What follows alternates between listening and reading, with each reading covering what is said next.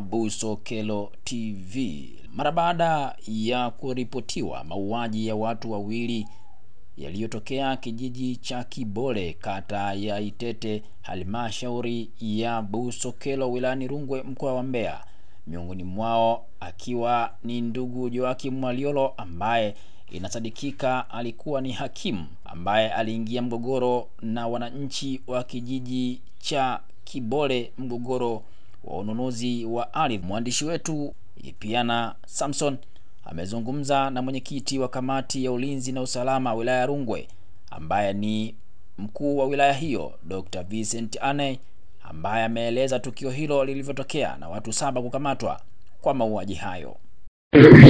Salama salama. Pole na pole na matukio huko mkuu. Asante. Ipiana hapa naongea huyu. Eh, vijana wa Mimi hapana hapa watufanyia na hiyo online ya Busokelo. Ndio Ndiyo mkuu. unasemaje? Ndio nilikuwa nataka tu nanili kama kama kama ilikuwa hiyo tukio limetokea mkuu. Hapo tukio limetokea. Ndio. Kwa kwa kama chanzo inaweza ni nini? Chanzo ni mgogoro wa mgogoro wa ardhi. Aha. Ambayo kwa baina ya ya mheshimiwa hakimu na na, na, na wananchi. Na wanakijiji. Ah. Na mgogoro ulimu kwa muda gani? Ah, tangu elfu mbili na kumi na tano.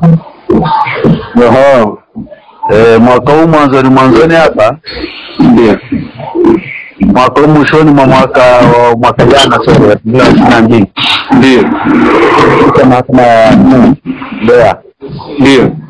Mheshimiwa alishindwa kesi. Mm. Sasa hivi alikuwa amepata rufaa, lakini rufaa bado hajaanza kusikilizwa. Mm. Ah. Sasa ikawaje tena tena kwenye shamba tena sasa akaanza kushambulia na wananchi. Naam, eh, akaenda hapo na watu fulani, kuna vitu wanachimbia. Sasa wananchi wakaenda pale kabishana nao, kajeruhi wananchi wawili kwa risasi. Unajua huyo sio mwananchi wa Busokelo, Ndiyo. alisha alikuaga Busokelo maeneo ya Suma, baba yake kahamia Kiela. Ndiyo. Alivyohamia Kiela Mm. ndio alikozaliwa huyo, akarudi pale baba yake alikohama kutoka Suma. Wale wananchi akasema eneo ya babu yangu, na kuhakikishia na silaha huko zamani, lakini ndio. Kwa hiyo ni mtu wa migogoro ya ardhi. Mm. Mm.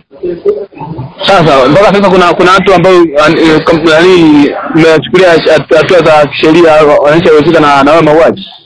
Eh, kuna watu tushakamata pia. Ah. Eh, kuna watu wameshakamatwa. Ah. Sawa.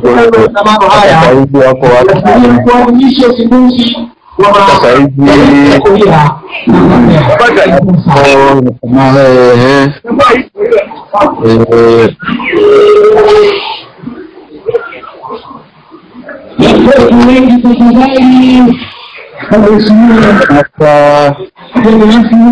wako saba Ah, mpaka watu saba. Aha, sawa sawa. Nashukuru kwa hilo mkuu. Haya. Mtazamaji wa Busokelo TV, endelea kutufuatilia kwani bado tutaendelea kuletea ripoti nzima ya kile kilichojiri katika eneo hilo la Kibore na yale yanayoendelea mpaka hivi sasa. Usiondoke.